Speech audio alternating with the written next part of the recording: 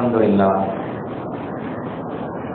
نحمده ونستعينه ونستغفره ونؤمن به ونتوكل عليه ونعوذ بالله من شرور انفسنا ومن سيئات اعمالنا من يهده الله فلا مضل له ومن يضلل فلا هادي له واشهد ان لا اله الا الله وحده لا شريك له واشهد ان سيدنا مولانا محمدا عبده ورسوله اما بعد، فقد قال الله تعالى في القران العظيم وفي القران المجيد. بعد اعوذ بالله من الشيطان الرجيم. بفضل بسم الله الرحمن الرحيم. إلا تنصروه، فقد نصره الله إذ أخرجه الذين كفروا ثاني اثنين، إذ هما في الغار. صدق الله العظيم.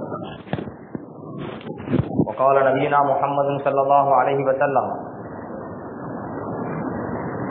من سره أن ينظر إلى عتيق من النار فلينظر إلى أبي بكر صدق رسول الله صلى الله عليه وسلم எல்லாம் வந்த அல்லாஹுவின் ரஹ்மத்தும் மகுபிரத்தும் நம் அனைவரும் மீது வந்து சேரட்டுமாக நம் வாழும் காலமெல்லாம் அல்லாஹுக்கும் அல்லாஹுடைய தூதருக்கும் முழுமையாக கட்டுப்பட்டு வாழ வேண்டும் ஈமானோடும் இறை அச்சத்தோடும் வாழ வேண்டும் என்று ஆரம்பமாக எனக்கும் உங்களுக்கும் மத்தியத்து செய்கிறேன். கணிதற்குரிய அல்லாஹுவின் நல்லடியார்களே முஸ்லிம்களாகிய நாம் இன்றைய காலகட்டத்திலே இரண்டு விஷயங்களில் அதிகமாக பின்தங்கி வாழ்கிறோம். மருமையினுடைய வெற்றிக்குரிய இரண்டு விஷயங்கள். அதில் ஒன்று நல்ல குணங்கள் நற்பண்புகள். இந்த குணங்கள் விஷயத்திலே இன்றைய தலைமுறையில் வாழ்ந்து கொண்டிருக்கிற முஸ்லிம்கள் முன்றைய காலகட்டத்தை கவனித்து பார்க்கின்ற பொழுது மிகவும் பின்தங்கி நல்ல பண்புகளை இழந்து இஸ்லாத்தினுடைய போதனைகளுக்கு வெகு தூரமாக அப்பாற்பட்டு வாழக்கூடிய ஒரு நிலை இன்று அதிகமாக காணப்படுகிறது. அதே போன்று ஈமானிய உணர்விலே பின்தங்கி இருப்பது. ஈமானிய உணர்விலே நாம் மிகவும் பலவீனப்பட்டு போயிருக்கின்றோம். எந்த அளவுக்கு பலவீனம் என்றால் ஈமானா அல்லது இந்த துனியாவா என்கிற ஒரு நிலை வருகிற பொழுது இந்த துன்யாதான் முக்கியம் என்கிற ஒரு நிலைக்கு இன்று முஸ்லிம்கள் மோமின்கள் தங்களுடைய ஈமானிய உணர்விலே பின்தங்கி வாழ்கிறார்கள். கணிதற்குரிய அல்லாஹவின் நல்லடியார்களே இந்த ஈமானிய உணர்விலும் நற்பண்புகளிலும் நாம் ஒரு உயர்ந்த நிலையை அடைகிற பொழுதுதான் நாளை மறுமை வாழ்க்கை மிக பிரகாசமான வாழ்க்கையாக இருக்கும் என்பதை நம் உள்ளத்திலே நாம் ஆழமாக பதிய வேண்டும். பெருமான ரசூலுல்லாஹி செல்லல்லாஹு அழகி செல்லம் அவர்கள் எப்படிப்பட்ட சமுதாயத்தை நமக்கு உருவாக்கி தந்தார்கள்? அந்த நல்ல மனிதர்களுடைய நபி சோழர்களுடைய வாழ்க்கை வரலாறுகளில் அவ்வப்போது உங்களுக்கு நாம் நினைவூட்ட காரணம் நமது ஈமான் நமது பண்புகள் மேலோக வேண்டும் என்கிற அடிப்படையில். அந்த அடிப்படையிலே இன்று நாம் பார்க்க இருக்கிற நபி தோழர் முதல் கலீஃபா அபுபக்கர் சித்திக் ரவியல்லாஹு அவர்களை பற்றிய மிக சுருக்கமான ஒரு வரலாறு. கணித்திற்குரிய அல்லாஹுவின் நல்லடியார்களே முதல் கலீஃபா முதல் மூமின் அபுபக்கர் சித்திக் ரவியல்லாஹு அவர்களுடைய இயற்பெயர் அப்துல்லா அபுபக்கர் அலி அல்லாஹ் சொன்னா பெறப்படுகிறோம் அப்துல்லா அலி அல்லாஹ் சொன்னா யாருக்கும் தெரியாது. அபுபக்கர் அலி அல்லாஹ் அவர்களுடைய இயற்பெயர் அப்துல்லா அவர்களுடைய தந்தை பெயர் உஸ்மான் ரவி அல்லாஹ் அபுபக்கர் அலி அல்லாஹ் அவருடைய வம்ச தொடரிலே அவருடைய தலைமுறையிலே முர்ரத்து குணு காபு என்கிற ஒரு மூதாதையர் இடம்பெறுகிறார். அவருடைய வம்ச பட்டியலிலே தொடரிலே. இந்த முர்ரத்து குணு காபு என்பவர் பெருமானா செல்லம்மாப்பு அழகிவர் செல்லம் அவர்களுடைய வம்ச தொடரிலே பெருமானாருடைய மூதாதையர்கள் உள்ளவர்கள். எனவே அபுபக்கர் அலியல்லாஹு அவர்களும் பெருமானார் செல்லல்லாஹு அழகிவ செல்லம் அவர்களும் அவர்களுடைய வம்ச தொடரிலே முர்ரத்து குணு காபு என்பவர்களிடத்திலே சந்திக்கிறது வம்ச தொடர். அடுத்து அபுபக்கர் அலி அல்லாஹு அவர்களுடைய தாயார் பெயர் உம்முல் ஹைர் சல்மா பின்து சஹர். உம்முல் ஹைர் சல்மா பின்து சஹர். இது அபூபக்கர் அலி அல்லாஹு அவர்களுடைய தாயார் பெயர். அபூபக்கர் என்பது அபூபக்கர் சித்திக் அலி அல்லாஹு அவர்களுடைய புனை பெயர் அடுத்து அபூபக்கர் ரலியல்லாஹு அன்ஹு பிறந்த வருடத்தை வரலாற்று ஆசிரியர்கள் பதிவு செய்கிற பொழுது ஆமுல் ஃபீல் என்று சொல்லுவோம். யானை ஆண்டு குரானில் சொல்லப்பட்டிருக்கும் அலம் தர கைப ஃபஅல ரப்புக்க பி ஃபீல். யானை படையில் அல்லாஹ் என்ன செய்தார் என்று நீங்கள் பார்க்கவில்லையா என்று அல்லாஹு குரானிலே கேட்பார். அந்த யானை படை காபத்துல்லாவை அழிக்க வந்த அந்த ஆண்டுக்கு ஆமுல் ஃபீல். அந்த ஆமுல் ஃபீல் என்கிற யானை ஆண்டுக்கு இரண்டு வருடங்கள் ஆறு மாதங்களுக்கு பின்பு அபுபக்கர் சித்திக் ரலி அல்லாஹு அனுபவ அவர்கள் பிறக்கிறார்கள் இந்த உலகத்திலே. பெருமான சல்லல்லாஹு அலைஹி செல்லம் அவர்களை விட இரண்டு வயதுக்கு குறைவு அபுபக்கர் அலி அல்லாஹு அவர்களுக்கு. மாணவி ரசூலுல்லாஹி ஸல்லல்லாஹு அலைஹி செல்லம் அவர்களுடைய மனைவி ஆயிஷா ரலியல்லாஹு அனுகா அவர்கள் சொல்லுவார்கள் பெருமான ஸல்லல்லாஹு அலைஹி செல்லம் அவர்களும் அபூபக்கர் சித்திக் ரலியல்லாஹு அனுபவ அவர்களும் எனது வீட்டில் இருக்கின்ற பொழுது தங்களுடைய பிறந்த வருடத்தை பற்றி பேசிக் கொள்வார்கள். ஆயிஷா ரலியல்லாஹு சொல்றாங்க. ஸல்லல்லாஹு அலைஹி வசனம் என் வீட்டுல இருப்பாங்க. எனது தந்தை அபுபக்கர் சித்திக் ரலியல்லாஹு அன்ஹு எனது வீட்டில் இருந்தாங்க. இருவரும் தங்களுடைய பிறந்த அந்த வருடத்தை பற்றி பிறந்த அந்த தினத்தை பற்றி பேசிக் கொள்வார்கள். அப்படி பேசிய பொழுது இருவரில் யாருக்கு வயது அதிகம்? என்று எனக்கு அதில் தெரிந்தது என்றால் காணல் நபிஜி சல்லல்லாஹு அழகி செல்லம் அக்குபரை இருவரிலே பெருமானா சல்லல்லாஹு அழகி செல்லம் அவர்கள் தான் வயதில் மூத்தவர்கள். அவங்க பேசிக் கொண்டிருக்கின்ற பொழுது எனக்கு கிடைத்த தகவல் என்று ஆயிஷா ரலியல்லாஹு சொன்ன செய்தியை அல்லாமா இபுன் ஹஜர் அஸ்கலானி ரஹமத்துல்லா அல் இசாபா என்கிற வரலாற்று நூலிலே பதிவு செய்கிறார்கள்.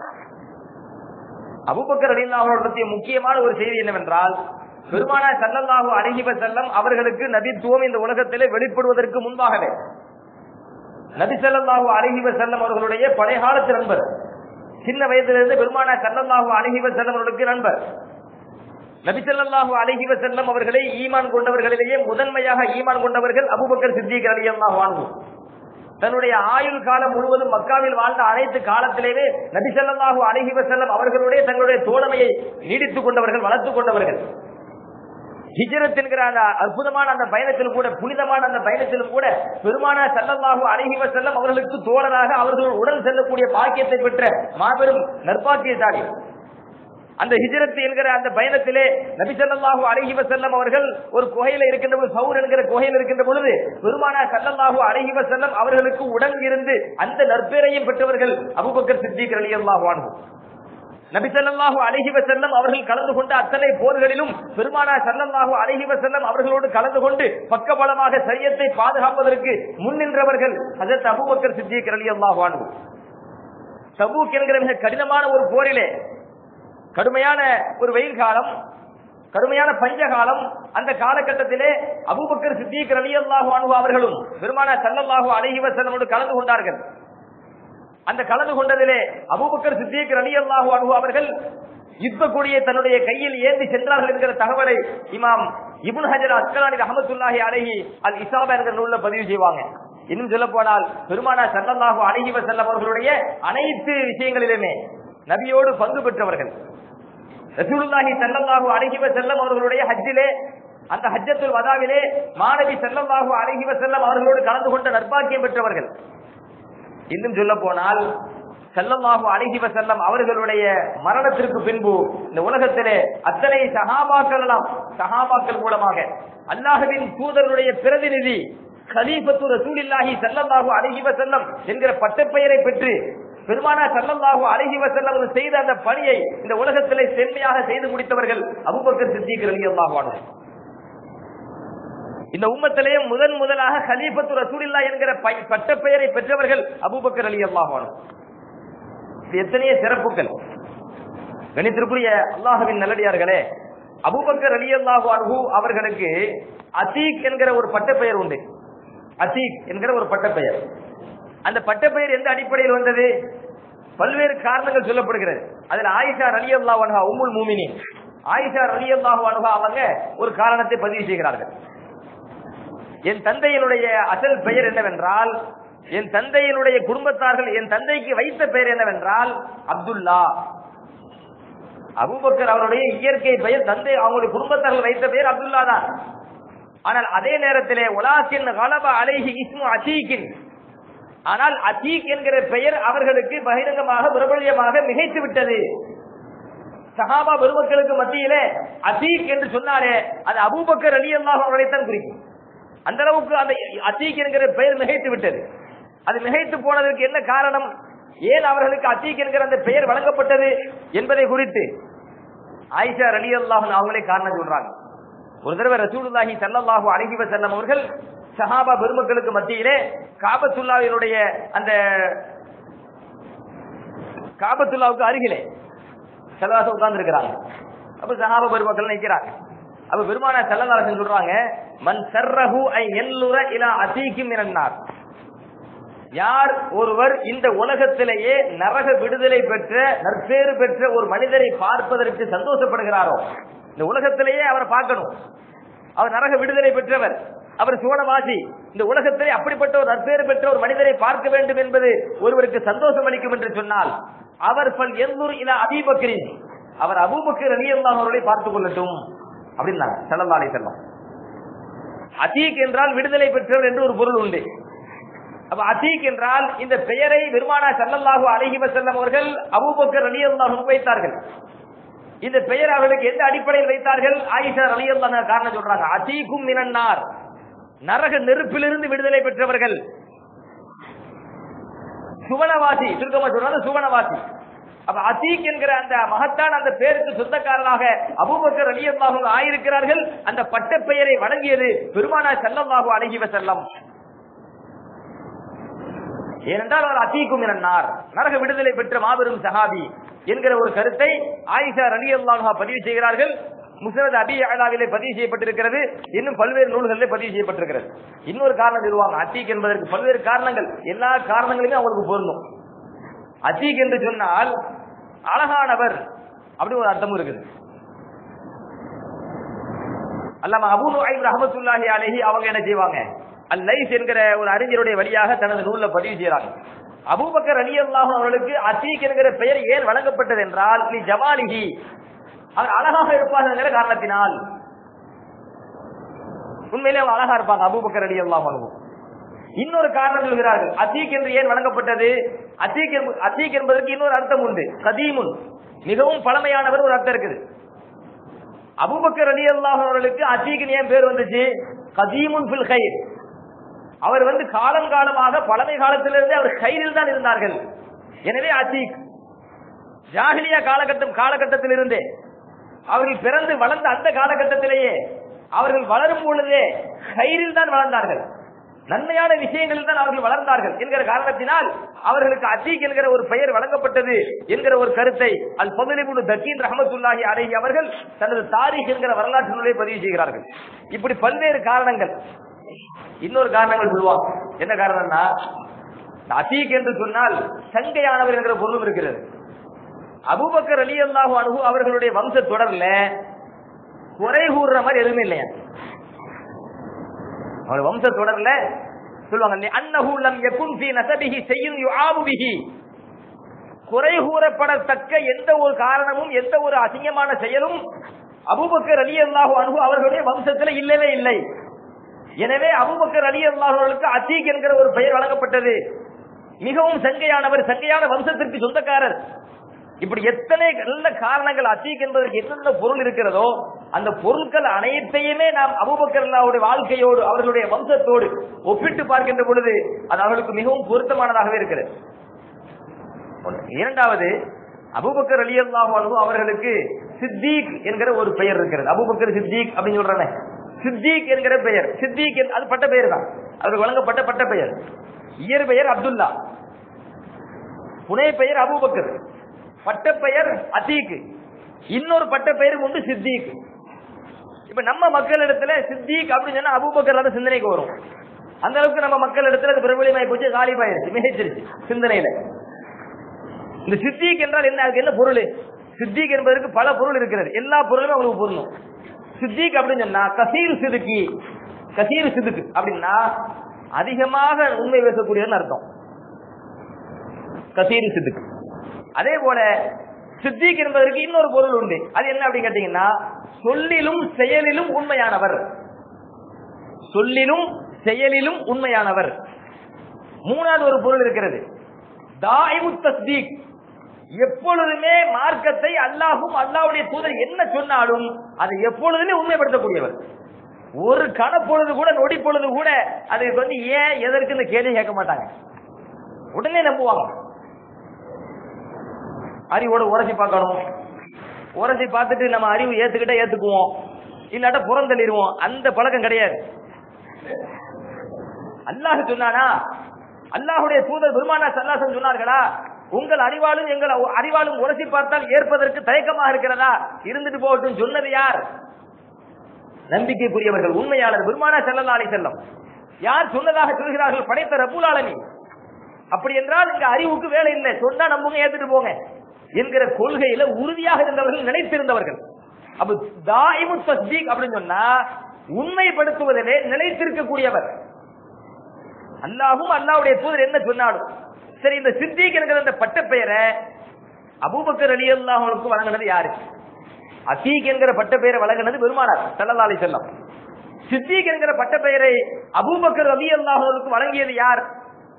அபு யஹியா ரஹமத்துல்லா சொல்லுவாங்க லா ஊஹசி கம் சமிஅத்து அலியன் ரலியல்லாஹு அன்ஹு யகூல் அலல் மிம்பரி. அலி ரலியல்லாஹு அன்ஹு அவர்கள் மெம்பர் படியில் வைத்து பல தடவை ஒரு விஷயத்தை சொன்னார்கள். அது எத்தனை தடவை சொன்னார்கள் என்று எனக்கு தெரியல. அபூபக்கர் ரலியல்லாஹு அன்ஹு அவர்களை பற்றியே சொன்னார்கள். அலி ரலியல்லாஹு அன்ஹு. என்ன சொன்னார்கள்? சும்மிய அபாபக்கர் ரலியல்லாஹு அன்ஹு அலா லிசானி நபியிஹி ஸல்லல்லாஹு அலைஹி வஸல்லம் சித்திகன். இன்னல்லாக அஸ்ஸ சம்மா அபாபக்கரின். அப்படியே வருது. இன்னல்லாக அஸ்ஸ சம்மா அபாபக்கரின். அபூபக்கர் ரலியல்லாஹு அனு அவர்களுக்கு அல்லாஹு தாலா சித்திக் என்று பெயரிட்டான். யாருடைய நாவினால்? அல்லாஹுவின் தூதர் ஸல்லல்லாஹு அலைஹி செல்லம் அவர்களுடைய நாவினால் அபூபக்கர் ரலியல்லாஹு அவர்களுக்கு சித்திக் என்கிற அந்த பட்ட பெயரை அல்லாஹ் தான் வழங்கினான் என்று அலி ரலி அல்லாஹு அனுகு மிம்பரில் வைத்து ஒரு தடவை அல்ல இரு தடவை அல்ல பல தடவை சொல்ல நான் கேட்டிருக்கிறேன். எத்தனை தடவை சொன்னார்கள் என்று என்னால் எண்ண முடியவில்லை. அப்ப எந்த அளவுக்கு அலி அலி அல்லாஹு அனுகு ஒட்டுமொத்த மக்களையும் கூட்டி உட்கார வச்சு மெம்பர் படியில ஏறி நின்று கொண்டு அபுபக்கர் அலி அல்லாஹுடைய அந்த சிறப்பை பற்றி அந்த மக்களிடத்தில் போதித்திருக்க வேண்டும்? ஏன் போதிக்கிறாங்க? நம்ம இந்த வாரத்துல இந்த ஜும்மால அபுபக்கர் அலி ஒரு தலைப்பிட்டு அந்த தலைப்பினுடைய அந்த கீழ் நமக்கு உங்களுக்கு செய்தியை சொல்றோம். ஆனால் அலி அலி அல்லாஹு அணுகு எத்தனை தடவை அந்த தலைப்புல பேசினாங்கன்னு சொல்ல முடியலங்கிறாங்க. அபு யஹியா ரஹமத்துல்லா. கண்ணியத்திற்குரியவர்களே அந்த செய்திக்கு வந்து இன்னொரு காரணம் சொல்றாங்க. சித்திக் என்று பேரு அல்லாஹ் ஏன் அவனுக்கு இட்டான் அப்படின்னு சொன்னான் பெருமான ரசூலுல்லாஹி சல்லல்லாஹு அலஹி வசல்லம் அவங்க சொல்றாங்க இன்னி உரீது அன் அஃருஜ இலா குரைஷின். என்னை விண்ணுலகத்திற்கு அல்லாஹ் அழைத்து சென்ற பொழுது இந்த உலகத்திற்கு மீண்டும் நான் வந்தேன். வந்த பின்பு நான் விண்ணுலகத்திற்கு அழைத்து செல்லப்பட்டேன் என்கிற அந்த உண்மை தகவலை நான் குறைசிகளிடத்தில் சொல்வதற்கு நாடி இருந்தேன். நாடி அந்த மக்களை போய் சந்தித்தேன். சந்தித்து அந்த மக்களிடத்தில் போய் நான் விண்ணுலகத்திற்கு சென்று வந்தேன் என்கிற தகவலை சொன்ன பொழுது பைத்துல் முக்கத்திற்கெல்லாம் சென்று வந்தேன் என்கிற தகவலை சொன்ன பொழுது எல்லா மக்களுமே பெருமான சல்லல்லாஹு அழகி வஸல்லுடைய சொல்லை ஏற்கவில்லை மறுத்தார்கள். அந்த நேரத்திலே அபூபக்கரின் அபூபக்கரின் ரலியல்லாஹு அணுகு அபூபக்கர் ரலியல்லாஹு அவர்கள் அதை கேள்விப்பட்ட அடுத்த நிமிடமே பெருமான சல்லல்லாஹு அலைஹி சொல்லை உண்மைப்படுத்தினார்கள். அதை உண்மை என்று நம்பினார்கள் ஏற்றுக்கொண்டார்கள். அன்றைய தினத்திலிருந்து அபூபக்கர் ரலியல்லாஹு அவர்களுக்கு சித்திக் என்கிற பட்டப்பெயர் வழங்கப்பட்டது என்கிற தகவலை உம்முஹானி ரலியல்லாஹு அன்ஹா பதிவு செய்கிறார்கள். ஐசர் அலி அல்லா சொல்லுவாங்க ரசூலுல்லாஹி ஸல்லல்லாஹு அலைஹி செல்லம் மேராஜ் விண்ணுலகத்திற்கு போயிட்டு வந்து மக்கள்கிட்ட வந்து தகவல் சொல்றாங்க. நான் பைத்துல் முக்கத்தஸுக்கு நான் போயிட்டு வந்தேன். முதல்ல அதை தான் சொல்றாங்க. பைத்துல் முக்கத்தஸுக்கு போயிட்டு வந்தேன் ஏன்னா பைத்துல் முக்கத்தஸ் பூமியில இருக்குது. ஏழு வானங்களை கடந்து அரிசவை சந்தி அரிசுக்கு போய் அல்லாத சந்திச்சு பேசிட்டு உரையாடி வந்தது இருக்குது. அது விண்ணுலகத்துல இருக்குது. பெருமானா செல்லல்லாலை செல்லவர்கள் முதன் முதல்ல மக்கத்து குறைசிகள்கிட்ட காபிர்கள்ட்ட பூமியில உள்ளதை பேசுறாங்க. நான் பைத்துல் முக்கத்தஸுக்கு போயிட்டு வந்தேன் அந்த நேரத்துல காபிர்கள் எள்ளி நகையாடினாங்க. கிண்டல் அடித்தார்கள். அதை ஏத்துக்க மறுத்தாங்க. முனாபிகா இருந்தாங்களே. முனாபிகளா நயவஞ்சர்களா இருந்தாங்களே. அப்படி யாரெல்லாம் நயவஞ்சர்களா இருந்தாங்களோ அதுல சில பேரு அப்படி மறுபடியும் குஃபருக்கு பகிரங்கமா போனாங்க முர்த்தத்தா போனாங்க. அந்த நேரத்துல அபூபக்கர் அலி அல்லாஹு ஒரு பகிரங்கமாக சொன்னார்கள் இன்னீல உசத்தி குஹு இன்னீல உசத்தி குஹு சீமாஹுவ அபு அது நின்றாலிக்க என்னமோ பைத்துல் முக்கத்தசுக்கு போயிட்டு வந்தத ஒரே இரவுல. பைத்துல் முக்கத்தசுக்கு போயிட்டு திரும்ப வந்தத உங்களால ஏத்துக்க முடியலையே. இதை விடவும் மிக பாரதூரமான ஒரு விஷயத்தை ஒரு விஷயத்திலேயே நான் பெருமானா செல்லல்லாஹு அழகி வசல்லம் உண்மைப்படுத்தியிருக்கிறேன். இதை விடவும் பாரதூரமான விஷயத்துல உசத்தி குஹூபி ஹபரி சமாயி ஸ்ரீ கதுவத்தின் ரௌஹத்தின். காலையில் அல்லது மாலையில் வானத்திலிருந்து பெருமானா சல்லல்லா அலிசல்லுக்கு தகவல் வருகிறது என்று எங்கள் பெருமானா சொல்கிற பொழுது அதையே நான் உடனடியாக ஏற்றுக்கொள்கிறேன். ஏழு வானங்களை கடந்து வானத்திலிருந்து தகவல் வருகிறது. ஒரு செகண்ட் கூட ஆகாது. ஜிபிலேசில வந்தாங்க. அல்லாஹ் சொன்னதாக சொன்னாங்க. அப்படின்னு சொல்லும் போது அதுல பூமியில இருக்குது வானம்? ஏழு வானத்தை கடந்து. ஏழு வானங்களை கடந்து மலக்குமார்கள் கீழே வருகிறார்கள் வந்து அல்லாஹ் சொன்னதாக ஒரு செய்தியை சொல்கிறார்கள் என்று சொல்கிற பொழுது அதை எங்கள் பெருமானார் எங்களிடத்தில் சொல்கிற பொழுது நாங்கள் ஏற்றுக்கொள்கிறோம். வயிற்று முக்கத்துக்கு ஒரு நைட்ல போயிட்டு வந்ததை ஏத்துக்க மாட்டோமா? என்று அபூபக்கர் அலி அல்லாஹ் கேட்டாங்க சொல்லிதான் சும்மிய அபூபக்கர் சித்திக் அதனால தான் அபூபக்கர் அலி அல்லாஹ் அவர்களுக்கு சித்திக் என்கிற அந்த அற்புதமான பட்டப்பெயர் வழங்கப்பட்டது என்று ஹதீஸ் நூல்களிலே பதிவு செய்யப்பட்டிருக்கிறது. ஆயிஷா அலி அல்லாஹ் இந்த காரணத்தை பதிவு செய்கிறார்கள். ஆனா சித்திக் என்கிற அசீக் என்கிற பட்ட பெயரை அல்லாஹுவின் தூதர் பெருமானா சல்லதாசன் கொடுத்தார்கள். சித்திக் என்கிற பட்ட பெயரை அல்லாஹுவே வழங்கினான் என்று ஹதீஸ் நூல்களிலே கிடைக்கிறது. எவ்வளவு பெரிய ஒரு புனிதர் அபூபக்கர் அலி அல்லாஹ் இந்த மார்க்கத்திற்காக வேண்டி அவர் எந்த அளவுக்கு அவர் வாழ்ந்திருக்க வேண்டும்? பெருமானா சல்லல்லாஹு அலைஹி செல்லம் அவர்களுக்கு எந்த அளவுக்கு உதவியாக இருந்திருக்க வேண்டும்? இந்த மார்க்கத்தை பரப்புவதற்காக வேண்டி எவ்வளவு பெரிய கஷ்டங்களை அவர்கள் சுமந்திருக்க வேண்டும்? அடுத்து இன்னொரு விஷயம். அபூபக்கர் அலி அல்லாஹு அனுகு அவர்கள் தாங்கள் வாழ்ந்த காலகட்டத்திலேயே சல்லல்லாஹு அழகிவ செல்லம் அவர்களோடு தோழமை கொண்ட காரணத்தினால சின்ன வயசுல இருந்தே பொதுவா ஒன்று இருக்கும். ரசூல்லா செல்லா சொல்லுவாங்க அல் மருகு அலா தீனி கலீலிஹி எந்த ஒரு அஹதுக்கும் மை யுகாலில் ஒரு மனிதர் அவர் யாரோடு உற்ற நண்பராக இருக்கிறாரோ அவருடைய கொள்கையில் தான் இருப்பார். உலகத்துல நீங்க பார்த்து கொள்ளலாம். ஒரு மனிதர் யார ரொம்ப நெருக்கமான நண்பரா வச்சிருக்கிறாரோ அவர் ரெண்டு பேருடைய பழக்கமும் ஒரே மாதிரி இருக்கும். அவர்கிட்ட என்னென்ன பண்புகள் இருக்கிறது அந்த பண்புகள்லாம் இவர்கிட்ட வரும். இன்னும் சொல்ல போனா அவர்கிட்ட என்னென்ன கொள்கைகள் இருக்கிறது அந்த கொள்கை இவர்கிட்ட வரும். ரசூலுல்லாஹி ஸல்லல்லாஹு சொல்றாங்க இறைவன் அப்படிதான் படைத்து வச்சிருக்கிறார் அல் மருவாலா தீனி கலீலிஹி ஒரு மனிதர் அவருடைய உச்ச நண்பரின் கொள்கையில் தான் இருப்பார்.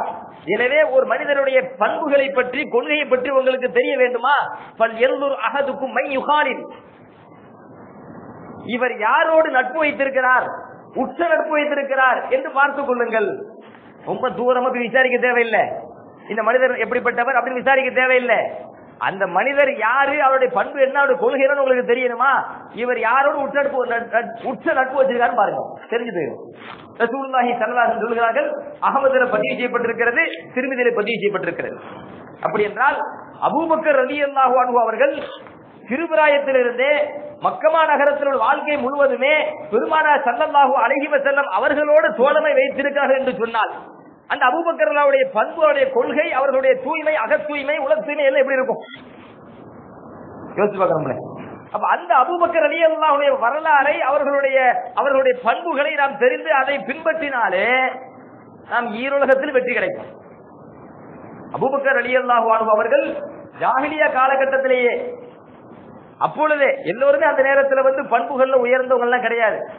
கெட்ட கெட்ட குணங்கள் தான் அவங்கள்ட்ட மிகச்சி இருந்துச்சு அந்த நேரத்திலும் கூட நல்ல பண்புகள் உடையலா இருந்த காரணத்தினால அவங்க சமுதாயம் அபூபக்கர் அலி அல்லாஹன் அவர்கள் அதிகம் நேசிச்சாங்க. அவங்களை அதிகம் நம்புனாங்க. அதிகம் நம்பியது மட்டுமல்ல அபூபக்கர் அலி அல்லாஹு அனுகு அவர்கள் மிகப்பெரிய அந்த காலகட்டத்திலே ஜாகிரியா காலகட்டத்திலேயே பெரிய வியாபாரியாக இருந்த காரணத்தினால் அந்த வியாபாரத்திலும் நேர்மையாக நியாயமாக உண்மையை கடைபிடித்தார்கள் காரணத்தினால பல மக்கள் வியாபார தொடர்பு அடிப்படையிலையும் அபுபக்கர் அலி அல்லாவுடைய பண்பை தெரிந்து கொண்டதுனால அவங்க அதிகமா நேசிச்சாங்க. நேசிச்சதுக்கு காரணம் அவங்கள்ட்ட நல்ல பண்பு இருந்துச்சு. ஜாகிலிய காலகட்ட மக்களே அபுபக்கர் அலி அல்லாஹர்களை நேசித்த காரணம் அவர்கள்ட்ட உயர்ந்த ஞானம் இருந்தது. நல்ல அனுபவம் இருந்தது. எல்லாத்துக்கும் மேல எல்லா நிலையிலுமே அவர்களிடத்துல கயிறும் உண்மையும் இருந்தது. இருந்த காரணத்தினால எல்லா மக்களுமே அபுபக்கர் அலி அல்லாஹர் அவர்களை அதிகம் நேசித்தார்கள். அடுத்து இன்னொரு விஷயத்தை கவனிக்கணும். அபூபக்கர் அலி அல்லாஹ் அனுபவ இந்த இஸ்லாத்திற்காக அவங்க எந்த அளவுக்கு பாடுபட்டு இருக்கிறாங்க அவங்க பாடுபட்டது கொஞ்ச நெஞ்சம் கிடையாது. அதீசில வருது அபுதாவது ரஹமத்துல்லா அவங்க வந்து ஜுஹுத் என்கிற நூல்ல பதிவு செய்யறாங்க குருவார் ரஹமத்துல்லா அறிவிக்கிறாங்க அபூபக்கர் அலி அல்லாஹு அனுகு இஸ்லாத்தை ஏற்ற பொழுது அவர்களிடத்துல இருந்த சொத்து வந்து அப்ப அவங்க கையில இருந்தது. நாற்பதாயிரம் திருகம். அந்த நேரத்தில் அவங்க கையில இருந்தது இஸ்லாத்தை தழுவிய பொழுது ஏற்ற பொழுது அவர்களிடத்தில் இருந்தது நாற்பதாயிரம் திருகம். ஆயிஷா அலி அல்லா சொல்றாங்க அன்னகு மாத்த ஒமா தரக்க தீனாரன் ஒலா திருகமா? அதே அபுபக்கர் அலி அல்லாஹன் அவர்கள் மரணிக்கின்ற பொழுது ஒரு தீனார் கூட அவர்கிட்ட இல்ல ஒரு திருகம் கூட அவர்கிட்ட இல்லை. இஸ்லாத்தை ஏற்ற பொழுது அவங்கள்ட்ட இருந்தது என்ன? பெரிய வியாபாரி. நேர்மையான வியாபாரி. நிறைய லாபம் சம்பாதித்த வியாபாரி. அப்படிப்பட்ட அபுபக்கர் அலி அல்லாஹு அனுகு இஸ்லாத்தை தழுவிய பொழுது இஸ்லாத்தை ஏற்ற பொழுது அவர்களிடத்தில் இருந்தது நாற்பதாயிரம் திருகம். அந்த நாற்பதாயிரம் திருகமோ ஒப்பாத்தாகின்ற பொழுது ஒரு திருகம் கூட இல்ல. ஆயிஷா அலி அல்லா நான் சொல்றாங்க. அது இன்னொரு காரணம் சொல்லுவாங்க. ஏன் இல்ல தெரியுமா? அதை அனைத்தையுமே அல்லாஹுடைய மார்க்கத்திற்காக செலவு செய்தார்கள். இன்னைக்கு வந்து தீன பின்னாடி வச்சுட்டு துன்யா வேணும்னு சொல்லி துன்யாவுக்கு சம்பாதிக்கிறோம். துன்யா நிறைய அல்லா கொடுத்திருந்தான். அந்த துன்யாவை எல்லாமே வேண்டாம். இந்த தீன் தான் வேண்டும் என்று துன்யாவை தீனுக்கு என்ன செஞ்சாங்க? தீனை சம்பாதிப்பதற்காக துன்யாவை இழந்தார்கள். கற்றுக்கிறாங்க நமக்கு தீனு தான் முக்கியம் துன்யா முக்கியம் இல்லைன்னு. நாற்பதாயிரம் திருகத்தையும் அல்லாஹுடைய மார்க்கத்திற்காகவே செலவழித்தார்கள். அன்றைய நேரத்திலே இஸ்லாத்திலே மக்கமா நகரத்திலே இஸ்லாத்தினுடைய ஆரம்ப நேரத்திலே மக்கள் எல்லாம் முஸ்லிம்களை அடித்து துன்புறுத்தினார்கள். மக்கத்து காப்பீர்கள் பல தொந்தரவுக்கும் இன்னல்களுக்கும் ஆளாக்கப்பட்டார்கள் முஸ்லிம்கள். அடிமைகள் அடிமைகள் கூட இஸ்லாத்தை ஏத்துக்கிட்டாங்க அந்த நேரத்துல. இன்னொருக்கு எஜமான் இருப்பாங்க அவரு காபிரா இருப்பாரு இவரும் காபிரா இருப்பாரு தூய்மையான இஸ்லாத்தை பாக்குறாங்க பார்த்து இஸ்லாத்தை அடிமைகளும் ஏத்துக்கொண்டாங்க. அப்படி ஏற்றுக்கொள்ள போது எஜமான்கள் அடிப்பாங்க துன்புறுத்துவாங்க. எப்படி இஸ்லாத்துக்கு போகலான்ட்டு அடிமைகளை. அப்படி துன்புறுத்தும் பொழுது அந்த நேரத்திலும் கூட அபுபக்கர் அலி அல்லாஹ் தன் பணத்தை எதுக்கு செலவு பண்ணாங்க தெரியுமா? அந்த அடிமைகளை காசு கொடுத்து விலைக்கு வாங்கி அவங்களை உரிமை வச்சுருவாங்க. ஒரு காபீர் கையில நின்னுகிட்டு அடிபட்டுக்கிட்டு வேதனைப்பட்டுக்கிட்டு இஸ்லாத்தை ஏற்றுக்கொண்டதற்காக அல்லாஹ் ஒருவன் என்று சொன்னதற்காக இவ்வளவு வேதனையா? எனக்கு அல்லாஹ் செல்வத்தை தந்திருக்கிறான். நான் என் செல்வத்தை வேணா இழக்கிறேன். அவரை வித்துரு எனக்கு. காசு கொடுத்து வாங்கி தங்கிட்ட அடிமையா வச்சிருக்கலாம்ல காசு கொடுத்து வாங்கி தன்னிடத்தில் அவர் அடிமையை வச்சிருக்கலாமே. இவங்களும் மூமினு அடிமையும் மூமின் நல்ல முறையில் பாத்துக்கலாம்டா ஆனாலும் கூட அபுபக்கர் சித்திக் ரலி அல்லாஹ் அவர்கள் அவர்களுக்கு சுதந்திர காற்றை சுவாசிக்க வேண்டும் என்கிற அடிப்படையில. சுதந்திரமாக அல்லாகவே வணங்க வேண்டும் என்கிற அடிப்படையில. இன்னொருவனுக்கு அடிமையாக இருந்து மிதிபட வேண்டிய தேவையில்லை என்கிற அடிப்படையில. தன்னுடைய சொந்த காசை செலவழித்து அடிமைகளை விலைக்கு வாங்கி உரிமை விட்டு இஸ்லாமிய இஸ்லாமியர் காற்றை சுதந்திர காற்றை சுவாசிக்க வேண்டும் என்பதற்காக தன் செல்வத்தை செலவழித்தவர்கள். வரலாற்றில் வருகிறது. வாழ்த்தக்க சபாத்த குள்ளி வாழ்த்தக்க சபாத்தன் ஏழு அடிமைகளை காசு கொடுத்து வாங்கி உரிமை விட்டாங்களாம். குல்லுகும் யுஅzzபு ஃபில்லாஹ். இந்த ஏழு அடிமைகளுமே அல்லாவுக்காக வேண்டி அதிகமாக அவர்கள் துன்புறுத்தப்பட்டவர்கள் வேதனை கொடுக்கப்பட்டவர்கள் எதிரிகளின் மூலமாக. அப்படிப்பட்ட அடிமைகளை செல்வ தன் செல்வத்தை கொடுத்து விலைக்கு வாங்கினாங்க. அதுல யார் யாரை அவர்கள் காசு கொடுத்து வாங்குறாங்க? வரலாற்றிலே பதிவாகிறது. அத்தக்க பிலாலன். பிலால் ரபி அல்லாஹர்களை உரிமை விட்டார்கள். ஆமிரபுனு புகைரா ஆமிரபுனு புகைரா ஜன்னீரா. அந்நகதியா. நகதியா என்கிற பெண்மணியினுடைய மகள். அவர் ஜாரியத்து பனில் முஅம்மில் உம்மு உபை. இப்படி ஏழு நபர்களை அடிமைகளாக இருந்தவர்கள் இன்னொருவர்களிடத்தில் துன்புறுத்தப்பட்டவர்கள் அல்லாவுடைய மார்க்கத்தை ஏற்றதற்காக வேண்டி பல தொல்லைக்கு ஆளாக்கப்பட்டவர்கள் அவர்கள் எல்லாம் தன் சொந்த காசை கொடுத்து விடுதலை செஞ்சாங்க. அபூபக்கர் அலி அல்லா அல்லாம இபுன் ஹஜர் அஸ்கலானி அஹமத்துல்லா அல் இசாபா என்கிற வரலாற்றில் உள்ள பதிவு செய்வாங்க. அபூபக்கர் அலி அல்லாஹு அவர்கள் இஸ்லாத்தை ஏற்ற பொழுது கையில நாற்பதாயிரம் இருந்துச்சு. அந்த நாற்பதாயிரத்தையும் அவர்கள் அல்லாவுடைய மார்க்கத்திற்காக செலவு செய்தார்கள். முஸ்லிம்களுடைய நலனுக்காக ஏழைகளின் நலனுக்காக செலவு செய்தார்கள். மதினமா நகருக்கு ஹிஜரத்து செய்து வந்த பொழுது அவன் கையில இருந்தது வெறும் ஐயாயிரம் திருகம். முப்பத்தையாயிரம் திருகத்தை மக்காவில் வைத்து அல்லாவுடைய மார்க்கத்திற்காக செலவு செய்தார்கள். வெறும் ஐயாயிரம் திருகம். வெறும் ஐயாயிரம் திருகத்தோடு மதினாவுக்கு வந்தார்கள். சரி, மதினாவுக்கு வந்தார்களே அந்த ஐயாயிரத்தை அப்படி லாபமாக்கி நாற்பதாக்கிட்டாங்களா? வியாபாரத்துல போட்டு அதுவும் கிடையாது. அல்லாம இபுன் ஹஜர் அஸ்கால் அஹமத்துல்லா சொல்லுவாங்க ஐயாயிரம் திருகத்தோடு மதினமா நகரத்திற்கு வந்த அபூபக்கர் சித்திக் ரலியல்லாஹு அன்ஹு ஒகான யஃஅலு ஃபீஹா கதாலிக மதினமா நகரத்திலுமே அல்லாவுடைய மார்க்கத்திற்காகவே அந்த ஐயாயிரத்தை செலவு செய்தார்கள்.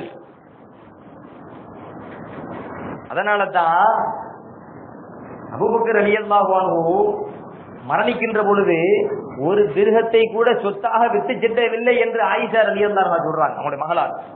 ஆயிஷா ரலியல்லாஹு அன்ஹா. இப்படிப்பட்ட புனிதர்களை நபி தோழர்களை நாம் எல்லாம் அடிக்கடி நினைவு கூற வேண்டும். நினைவு கூற தவறிவிட்டோம்.